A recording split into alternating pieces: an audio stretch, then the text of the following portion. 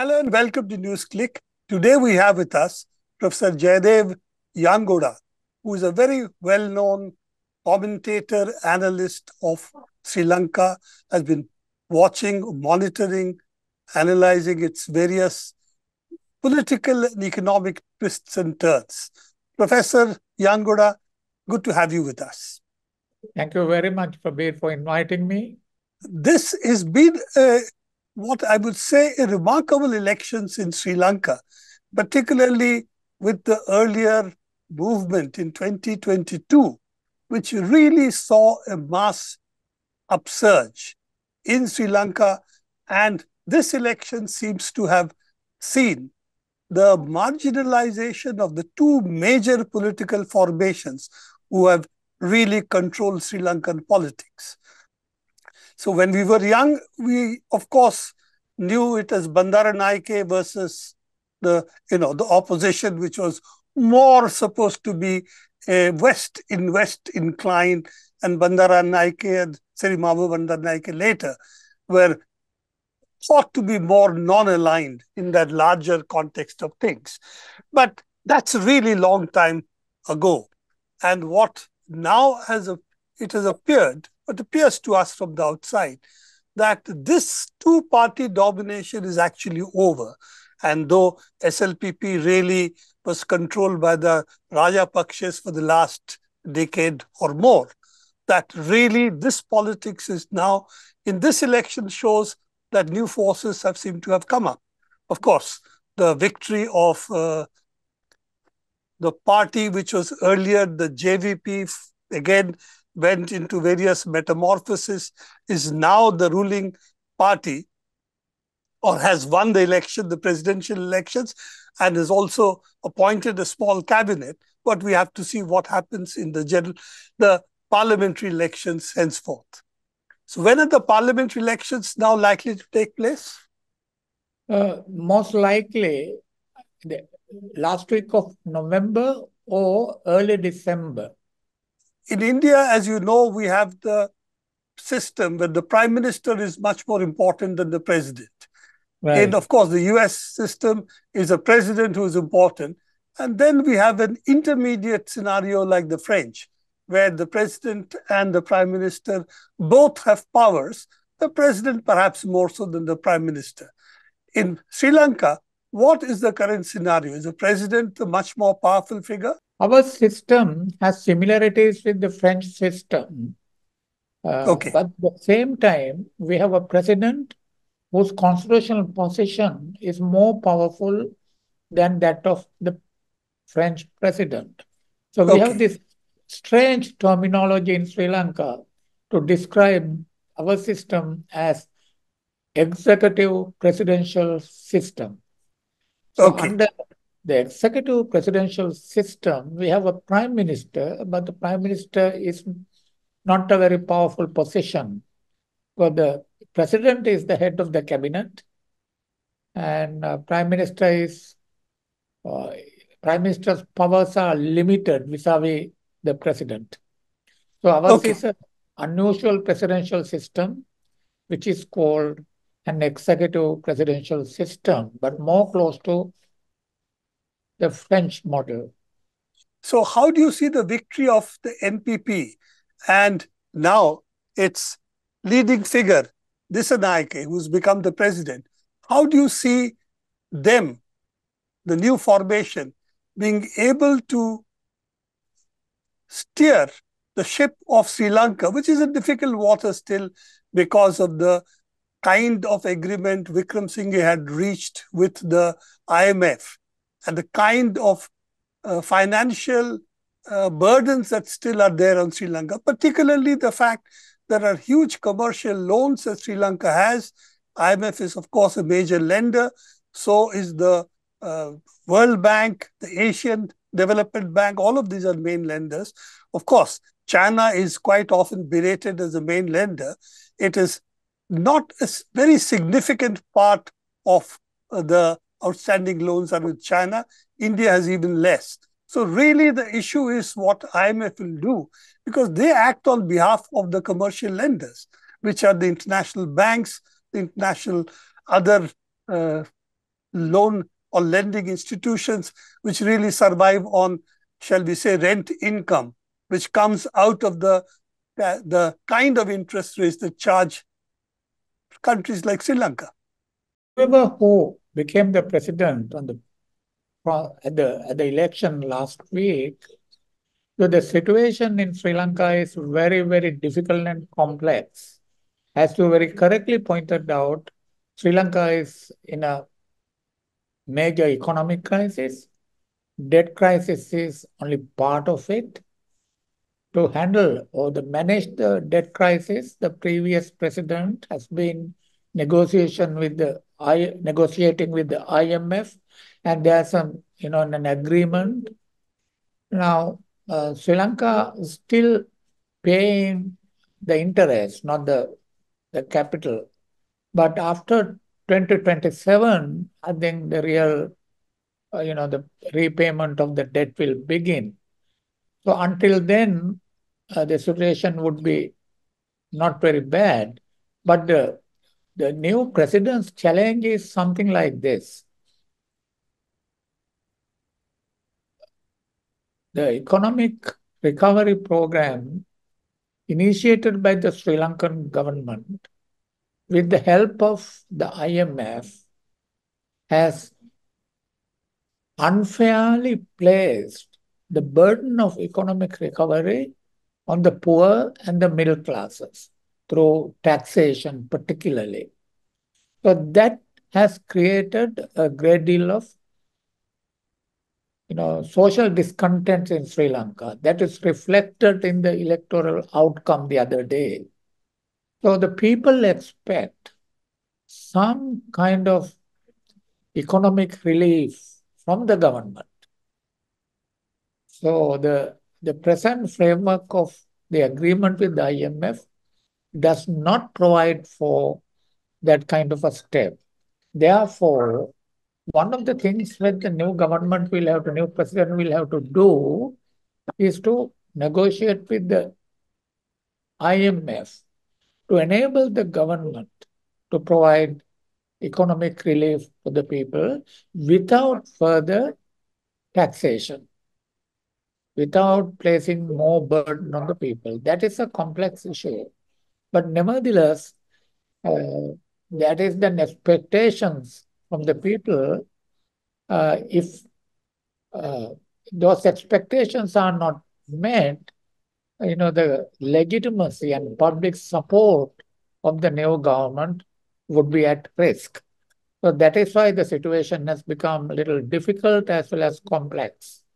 So do you think countries like China and India would be able to provide some support in this direction?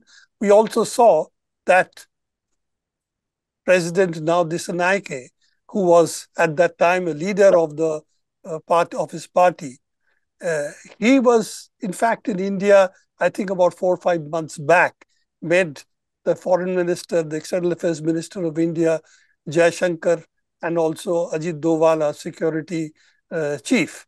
So, do you think both India and China are likely to help out in some sense the Sri Lankan government at this stage?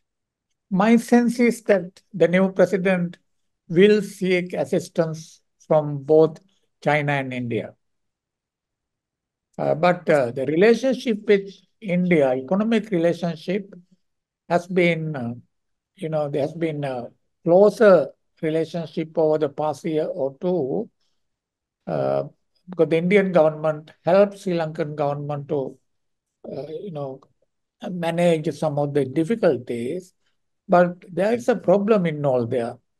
You know, there are geopolitical issues involved between China and India.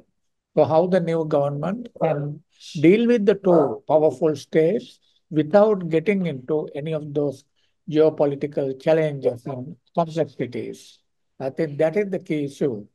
But the Indian, even in the case of Indian investments to Sri Lanka, uh, there are some concerns in Sri Lanka about the presence of some of the big Indian companies in Sri Lanka's north. So those are uh, domestic issues, but I think the new president will have to sort out these domestic challenges as well. So the point that you're making is that the economic headspace that the Sri Lankan government has as of now is limited. And without some support or some relaxation, there is going to be difficulty in maintaining at least a political tempo with which he has already come into power. To continue that, that will be difficult unless there is some maneuverability and some headspace that the Sri Lankan government can get on economic affairs. But regarding the political legitimacy, and that's really the other question that I have, the opposition to him, at least from the two major formations that existed, isn't there anymore. And if we look at what has happened to the Rajapakshes, his son contested and he got something like 2.5% votes. So it does seem at least the Rajapakshas are out of reckoning, at least for the foreseeable future. Though Wickremesinghe and others may still have some uh, some amount of weight in Sri Lankan politics. But do you see this as the end of the Rajapakshes, or do you think they still would be on the wings and can bounce back? And we have the Philippines example where Marcos' son has bounced back after 20, 25 years. Actually, that's what the Rajapaksha family is expecting, that someday they will get a chance to come back. But, you know, as you very correctly pointed out in your introductory remarks, uh, this election shows that Sri Lanka's traditional, three main traditional parties are in serious trouble. They are in the decline, actually. So what is what has happened is the two new parties have emerged as the two dominant parties. One is the National People's Party. Its candidate for the presidency, uh, Mr. Anura Kumar Dissanayake, had won the election. And the other party, that's called Samagi Jana Balawega in Sinhala, SJB, or United People's Force in English, it's a breakaway party from the UNP. Actually, it weakened the UNP in 2020. But the SJB and the NPP have emerged two main political parties in Sri Lanka. So the three traditional parties that the UNP Sri Lanka Freedom Party and Sri Lanka Podu Jana Peramuna, the Sri Lanka People's Front or SLPP, it has also been reduced to the status of a small party. So what we have is that the traditional party system has also gone through a structural transformation. To what extent this situation will prevail until the end of this government's term. Uh, that is an issue that we have to wait and see. My feeling is that Sri Lanka can might continue to be a system where only two dominant parties will be the main electoral parliamentary actors. That's the SJB and the NPP. Just for our viewers who may not be very familiar with Sri Lankan politics, the SJ, SJB, which you have just talked about, is led by Premadasa, Sajith Premadasa, who was is the son of the former of a former president who was assassinated, I think, in 1993. Right. And he is he is really, in that sense, a breakaway also from the one of the two major parties, the UNP but he wasn't a major figure in UNP. And it's after his breaking away, obviously, he has gained credibility because the UNP has lost credibility. And right. Wickremesinghe, though he did steady the financial ship, so to say, tided over the crisis of the state, which had completely collapsed during the 2022 upsurge. But he has also been what shall I say, playing footsie with the Rajapakshes. And without Rajapakshe's support, he would not have been able to run the last two years. So I do think that uh, Singh has paid the price for that in these elections. And that's what the figures seem to show. You're very right. Because the Wickremesinghe paid the price of his political coalition, Rajapakshas, as well as his close alliance with the IMF.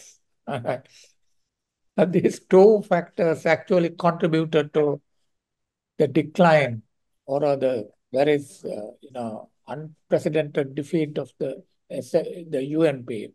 But it's interestingly, Ranil Wickremesinghe did not contest the presidential election as a UNP candidate. Actually, he contested as a non-party independent candidate, hoping that he could bring in, you know, sections from the SJB and the SLPP to his coalition. And he managed to do that. Actually, 90 odd SLPP MPs left the Rajapaksa camp and supported Ranil Wickremesinghe at the presidential election. Even then, he couldn't get, you know, uh, much votes that would have enabled him to actually have, you know, actually my I have the figures now, the percentage. He got is just 17.27. That's the percentage of votes he got. And Rajapaksa's son, Namal Rajapaksa, got only 2.57. So for Namal Rajapaksa, that's Mahinda Rajapaksa's son, to become like Marcos in the Philippines, he has a huge mountain to climb because from 2.57% of votes to 50% of votes would be a really difficult target for him to achieve. But you know, there's an another interesting point that came out in this election with regard to both Sajith Premadasa that you mentioned Sajith Premadasa's name, and Anura Kumar Dissanayake, the winning candidate. You see, uh, this election exposed one of the major shortcomings of the NPP in terms of its electoral support base. In the Tamil majority areas in the northeast, or the Malayaga Tamil, that is upcountry Tamil community in the central hill country, and some Muslim majority areas in the eastern province. Anura Kumar Dissanayake didn't get very many votes. Actually, most of the votes voters there supported Sajith Premadasa. So that is an interesting thing. So the one of the challenges that the new president, Anura Kumar Dissanayake, will face at the next parliamentary election, how to address this shortcoming within a space of two months, right? Otherwise, he would appear to be a president elected primarily by the Sinhala voters.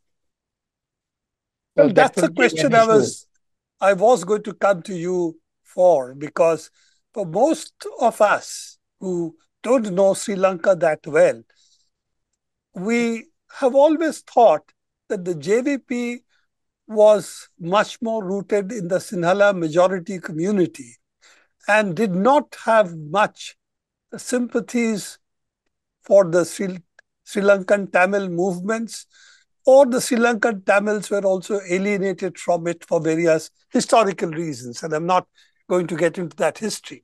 So, do you think there is a possibility? And this really centers on the question of how you see the Sri Lankan state.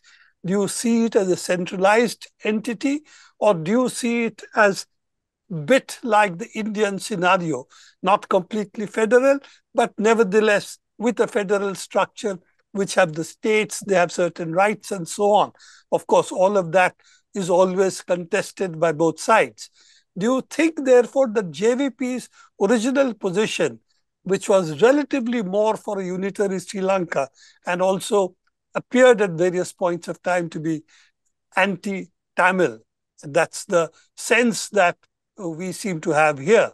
and particularly with the kind of Tamil uh, secessionist movement that also was run by the Tamil Tigers. Do you think that, shall we say, distance has not really been uh, overcome in this election? Uh, that's a very important question uh, you ask, Prabir. Now, NPP's challenge is something like this. Uh, they cannot win the parliamentary election comfortably either without the support of Tamil and Muslim voters or coming into some kind of pre-election coalition alliance or post-election coalition alliance with Tamil and Muslim parties. That is one aspect of the problem. The second aspect is this. In the past, the JVP stood firmly in favor of a unitary state. And they were also opposed to federalism as well as devolution of power. You might recall that in 1987, 88, 89 period, after the Indo-Lanka Accord, that introduced devolution and power sharing system in Sri Lanka, uh, JVP opposed it. Actually, the second insurgency was centered around this question. But later on, what happened was there was a slow transformation of the JVP's position.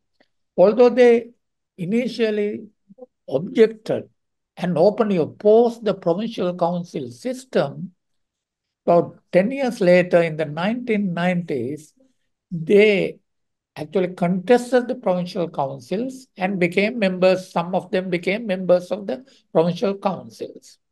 So now what happened was over the years, they started saying that although we don't accept the Indian solution, we participate in the provincial council system. Now, the latest position of the NPP is that they will fully implement the 13th Amendment as it is in the Constitution. It is the 13th Amendment to the 19 Sri Lanka's Constitution that established the provincial council system for devolution. So they don't deny devolution. They don't deny the validity of the provincial, at least political validity of the provincial council system. So uh, the problem is for the NPP something like this. They have to still take a position before the Tamil people, before the Tamil political parties, is that they recognize that a devolution needs to be further strengthened. Although we have a constitutional you know, amendment, and the current situation in Sri Lanka is that we have devolution. At the same time, we don't have devolution. The reason is that elections for the provincial councils have not been held, I think, for about five years now. So one of the priorities that the new president has, and also her approach to give a positive me message to the Tamil people and Muslim people is perhaps after the provincial councils, to take steps to hold the provincial council system and restore those constitutional structures of devolution. That is very important. And I hope Mr. President Dissanayake will take steps to hold provincial council elections as soon as possible. That will be a bridge building exercise with the minorities very important point that you're raising that one of it is of course the linguistic rights which in this case is of the tamil speaking population and there are two sets of tamil speaking population as you're much more aware of than yeah, our yeah. indian viewers would be one is of course those who went later whose also their citizenship rights were not there for quite some time, and the ones who speak Tamil, but a much earlier migration, if you will. And then, of course, you have also the question of religious identities, and there right. you have raised the Muslim uh, identity issue. And there again, they are in different areas, so they don't really overlap in that sense. JVP or the new party that I continuously have to look NPP. for. NPP. That this is this has seemed to have fared a little better in the Muslim minority areas than among the Tamil minority areas. And I think they have taken a public position uh, regarding a secular constitution, religious rights, and so on. But with respect to devolution and linguistic rights, I think there is still a bit of, uh, or shall we say, lack of clarity, at least amongst people like us who don't follow it that closely, that what is the JVP's position finally going to be? Formal acceptance is one thing, but is the heart really in it? That's really the issue. And that is a more fundamental shift that has to take place from the original JVP position. So I think that's something we'll have to watch because coming from India, we think that these two things are very important to hold a nation together. That a centralized monolithic structure of the kind which European politics saw, and this, you know, that if we, since you are, uh, shall we say, a great student of politics internationally, you would know that the European national projects led to two world wars.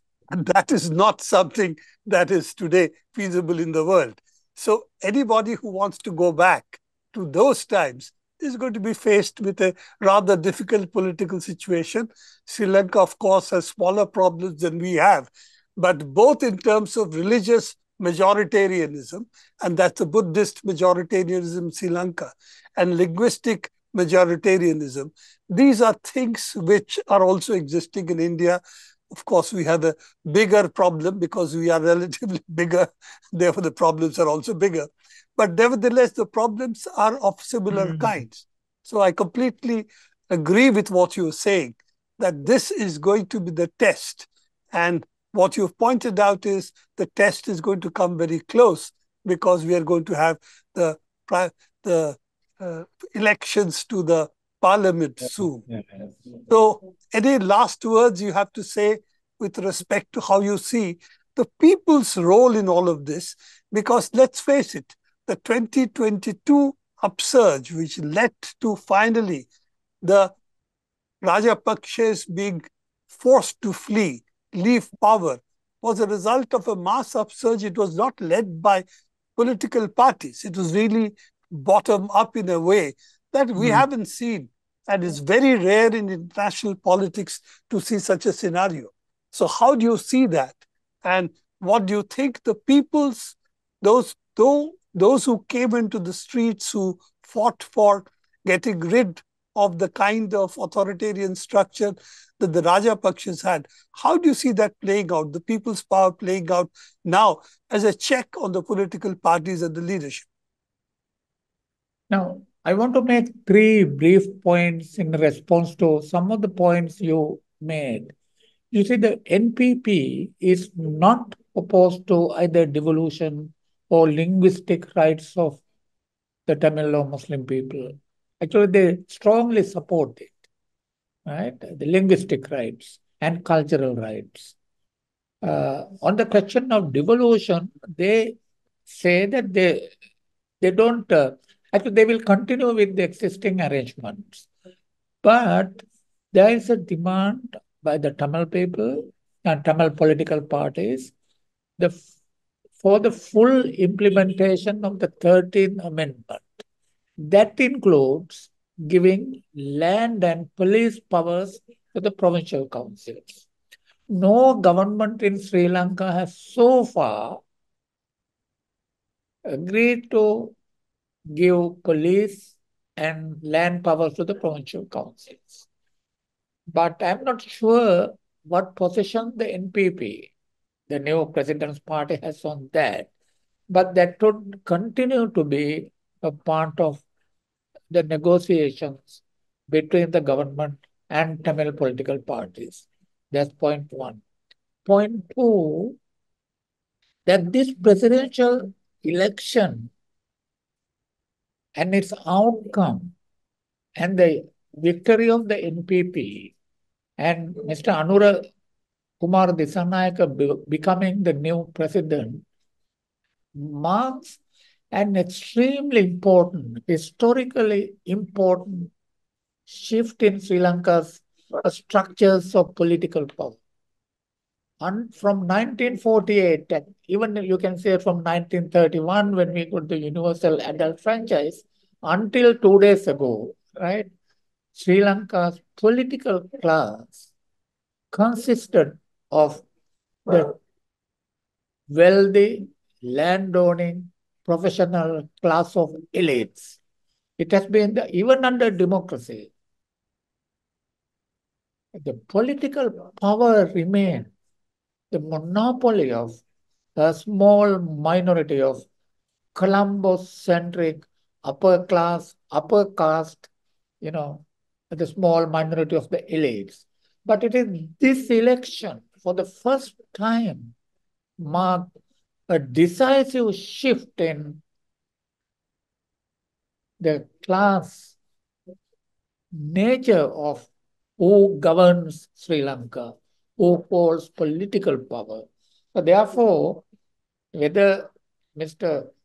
Anura Kumar Dissanayake succeeds or not as a president, the fact that his electoral victory has this historical significance, its social, political significance, I think is very, very important.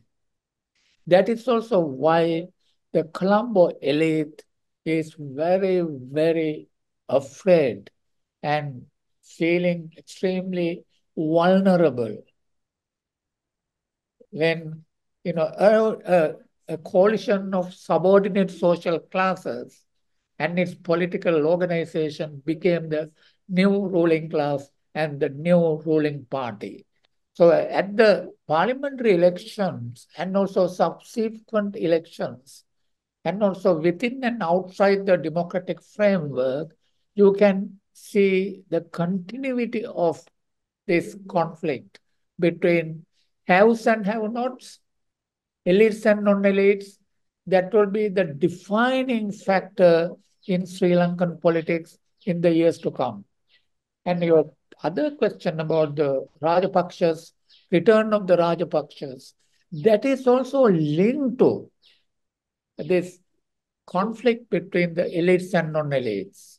I think in that framework, the Rajapakshas return, the, prospects of return for the Rajapakshas would be not very significant. The more significant contradiction, most important, crucial contradiction that will define the parts of Sri Lankan politics, you know, since day of the day before yesterday, is this fundamental contradiction between the haves and have-nots in Sri Lankan society, elites and non-elites, elite minority and the non-elite masses. So that has actually already begun to redefine the political traje trajectory in future Sri Lanka. I think that partly answers my question of how the those who shaped actually the movement and those who got rid of the Rajapakshas, that how will they enter the political arena or continue in the political arena? I think you've really answered that question. That that was the test that now the Dissanayake and his political formation will have actually, to. This is the political culmination of the protest, actually. Protest. Thank the you very much, was... Professor Uyangoda, for being with us and giving us the various insights into different aspects of the transformation that has happened. And hopefully, we'll catch up with you in the future on the transformation as it progresses. And if it doesn't, even then, we will have you as a commentator to talk about it. Thank you very much. Okay. And know, we hope that we will meet soon with what are the developments that are taking place in Sri Lanka. Thank you, Prabir. I'll, I'll be looking forward to joining you again for uh, to continue our conversation. Thank you. Thank you very much, Professor Uyangoda, for being with us. And also, thanks to our viewers. Do please keep watching NewsClick and follow us on various platforms.